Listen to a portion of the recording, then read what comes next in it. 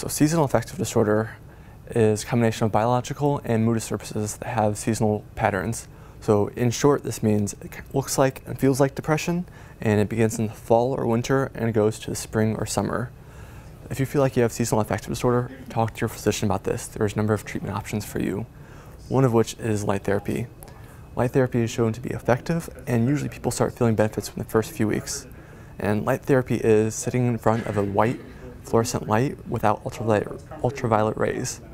Even in the fall or winter, if symptoms start going away, keep doing this treatment in order to keep feeling better. You also consider using antidepressants and psychotherapy. Both have been shown to be as effective as light therapy, so talk to your physician or psychotherapist about treatment options.